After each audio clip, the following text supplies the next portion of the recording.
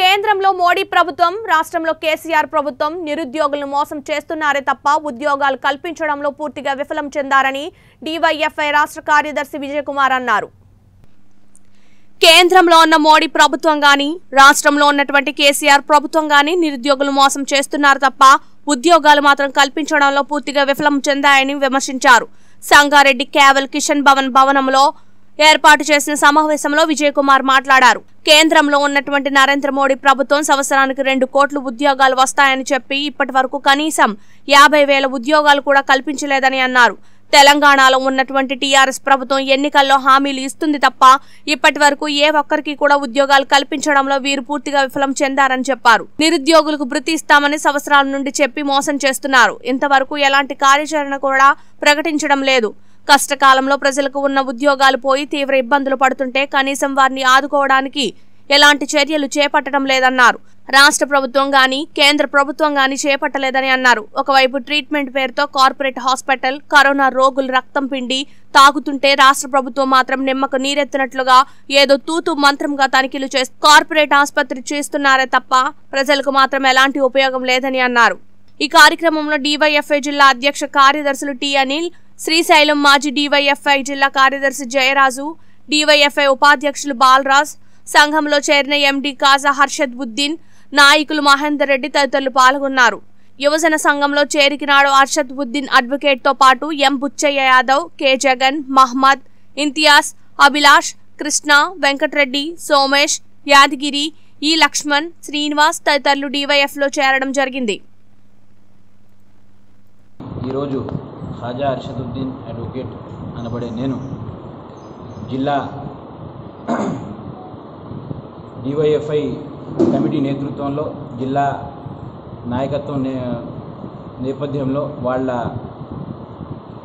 అండదండలతో డివైఎఫ్ఐ రాష్ట్ర కార్యదర్శి సమక్షంలో గొప్ప ఆశయాలు లక్ష్యాలు ఉన్నటువంటి ఈ భారత ప్రజాతంత్ర విభజన సమాఖ్యలో ఇవాళ చేరడం జరిగింది. సభ్యత్వం తీసుకోవడం జరిగింది. నేటి నుండి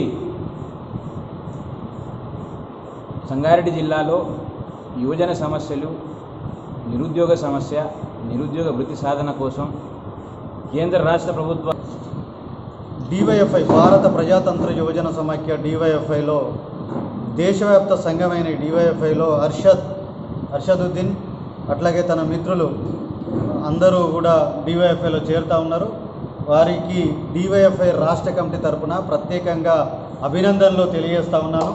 వారికి ఆహ్వానం డివైఎఫ్ఐ ఈ దేశ స్వాతంత్రోద్యమ వారసత్వాన్ని పోరాట వారసత్వాన్ని ముందుకు తీసుకుపోయే సంఘం. ఈ దేశంలో ఉన్న నిరుద్యోగులందరి తరపున ప్రతి ఒక్క యువకుడు యువతి సమగ్ర అభివృద్ధి చెందాలంటే యువకులకు అవకాశాలు కావాలి వాళ్ళకి మంచి విద్య కావాలి ఉపాధి కావాలి. అందరూ దేశంలో ఉన్న యాభై కోట్ల జనాభాలో ఈ యాభై కోట్ల యూత్ ఉంటారు. ఈ యూత్ అందరికీ పని చేసుకోవడానికి అవకాశాలు కల్పాలని కల్పించాలని చెప్పేసి డివైఎఫ్ఐ డిమాండ్ చేస్తూ ఉంది. ఈ కాలంలో దాదాపు డివైఎఫ్ఐ ఏర్పడిన నలభై ఏళ్ళలో అనేక పోరాటాలు చేసింది.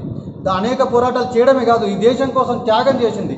ఈ దేశాన్ని విడదీయాలని చెప్పేసి కొంతమంది పని కట్టుకొని చేస్తుంటే ఉగ్రవాదులు దాడి చేస్తుంటే వాళ్ళకు వ్యతిరేకంగా పోరాడి తన ప్రాణాలు అర్పించింది డివైఎఫ్ఐ. అట్లాగే స్పోర్ట్స్లో ప్రత్యేకంగా టాలెంట్ను గుర్తించి వాళ్ళకు ప్రోత్సాహం కల్పించింది. రక్తదానాలు చేస్తూ ఉంది. శ్రమదానాలు చేస్తూ ఉంది. నల్లమల్ల తెలంగాణలో నల్లమల్ల ఆ అడవులను సర్వనాశనం చేస్తూ ఉంటే వాటంటి రక్షణ కోసం పోరాటం చేసి దాన్ని కాపాడే ప్రయత్నం చేసింది. ఇట్లా అనేక పోరాటాలు చేస్తూ యువకుల తరపున యువకులు ఏం చేయాలో వారికి సమగ్ర అభివృద్ధికి తనవంతు చేయూతనిచ్చి నవ యువకుల సమాజాన్ని అటువంటి వారి నవచైతన్యాన్ని కల్పించడం కోసం డివైఎఫ్ఐ ప్రయత్నం చేస్తుంది. ఇటువంటి డివైఎఫ్ఐలో దేశం కోసం పనిచేస్తున్న డివైఎఫ్ఐలో ప్రాణ త్యాగాలు చేస్తున్న డివైఎఫ్ఐలో డి చేరాలనుకోవడం అర్షద్ వాళ్ళ టీంకి చాలా గొప్ప విషయం. ప్రత్యేకంగా ఆహ్వానం. మీరు మాతో పాటు యువకుల తరఫున యువకుల కోసం పోరాటంలో నిలబండి అందరూ నిలబండి యువత అందరూ కూడా నిలవాలని చెప్పేసి డివైఎఫ్ఐలో జాయిన్ కావాలని చెప్పేసి కోరుతా ఉన్నాం